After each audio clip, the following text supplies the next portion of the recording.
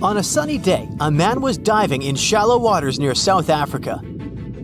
At one point, he saw something that didn't catch his eye at first. A pile of shells that looked as if it had been put together. Maybe by some other diver, he must have told himself. But out of all these shells came the most unusual of creatures an octopus. The gorgeous underwater animal looked straight at the man before swimming away. Impressed by his new acquaintance, the diver started visiting the octopus every day.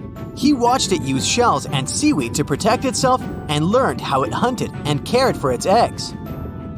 All these encounters became the basis for a now famous documentary. In the movie, the diver wanted to study the relationship between a wild octopus and its observer.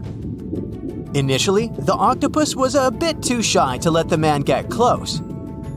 But over time, it began to trust him and even explored his body. At one point, the octopus even rested on the diver's chest. The man soon began to look at the underwater creature as his octopus friend. Sure, the documentary did make it look like a true friendship, but that was most likely because of all the close ups and eerie music.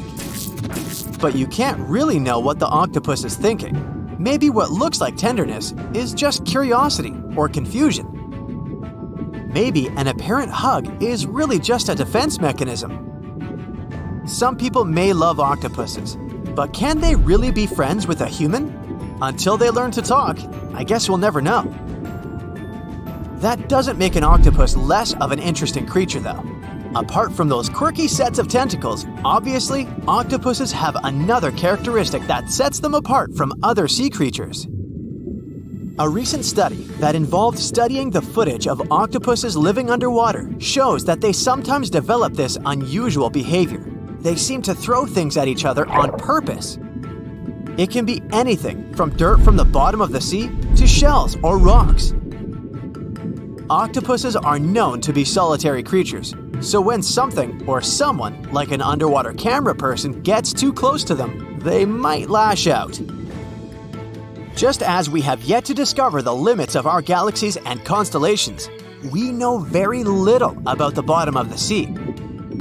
It's one of the reasons why we find it so hard to explain the behavior of some underwater creatures.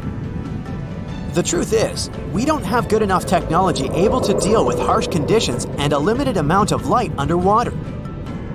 You might have asked yourself at one point, what's the deepest part of the ocean?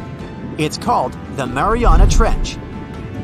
We don't really know exactly how deep this giant hole is, since it's too difficult to measure, but it's somewhere around 6.8 miles deep and five times longer than the Grand Canyon. This massive underwater trench was first studied back in 1875 with the help of a weighted rope. Back in 2012, a Canadian film director reached the bottom of the trench in a submersible vessel called the Deep Sea Challenger. Some of the most bizarre creatures on the planet were discovered here, including the Dumbo octopus, the sea cucumber, and the goblin shark. The Mariana Trench got its name from the nearby Mariana Islands, which were named Las Marianas in honor of Spanish Queen Mariana of Austria. The Mariana Trench might be the deepest part of the ocean that we know of. But one other mysterious phenomenon that's interesting for researchers is called phantom bottoms. In the late 1940s, when the sonar became standard equipment, ships and submarines noticed unexpected signals coming from the ocean. Those signals came from areas where no seafloor was supposed to exist. What's even more mysterious is that this fake seafloor appeared to move. One researcher at Scripps University found out that these phantom bottoms showing on maps were indeed alive. They were made out of a layer of jellyfish, shrimps, and other deep sea creatures. The reason why they move is that they rise to the surface at night to feed.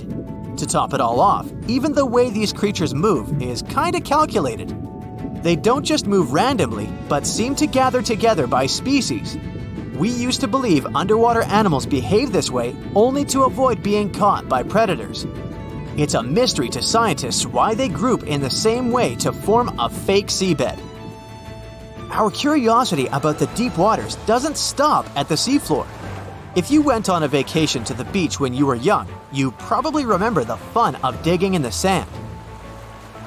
As the hole got deeper, you may have asked yourself, could I dig all the way to the other side of the earth? None of us have ever found out. Our parents took us home when it got dark and chilly. Scientists are more reasonable when it comes to this subject. For starters, they know the best place to start digging would be underwater, since those regions are already deeper than what we can find on land. They also do not have the ambition to drill a tunnel through Earth. It's not even possible. That's mostly because of the extreme heat and pressure inside our planet. Even if we could technically dig a tunnel, it would not be safe to travel through it. However, reaching the mantle and retrieving a sample would be a huge scientific achievement, similar to landing on the moon. What we live on is called Earth's crust. Underneath it, there are other layers called the mantle, outer core, and inner core. Researchers have been trying to drill into Earth's mantle since the 1960s, but they haven't succeeded. Some failed due to technical issues, and others were unlucky and chose the wrong places to drill. Our planet's mantle is made of molten rock. Wouldn't that be dangerous if we ever reached it? Scientists say we have nothing to worry about, though. If and when the drillers eventually pierce through the crust underwater, hot molten rock won't pop up the hole and spill onto the seafloor like it would during a volcanic eruption. Mantle rocks aren't solid, sure, but they move slowly, at the same speed as your fingernails grow. Another of those famous deep sea mysteries is that of the 1997 bloop. You heard that right. I'm talking about a weird sound that seemed to come from deep under the waves.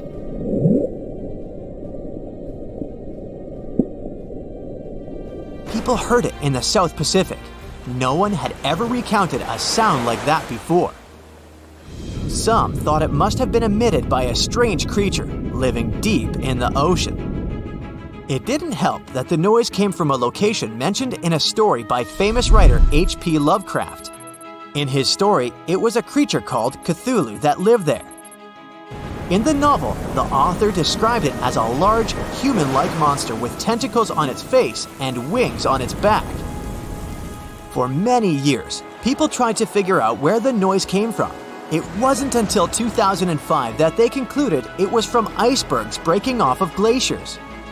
Some people still don't believe that this explanation truly makes sense and are searching for a different reason for the bloop. If creatures living outside of our planet ever decided to come to visit, you wouldn't expect them to go straight to the bottom of the sea, right? Well, some people claim there's a sort of spaceship on the ocean floor, discovered in 2011. It's basically an oval shaped object located on the bottom of the Baltic Sea. In 2012, a team of divers explored the anomaly and found what appeared to be a staircase and other structures on its surface. This only added to the belief that the large object had been made by someone and wasn't just a natural phenomenon. Even more bizarre, close to the unidentified anomaly, the explorers' electrical equipment, like sonar instruments and satellite phones, started to malfunction.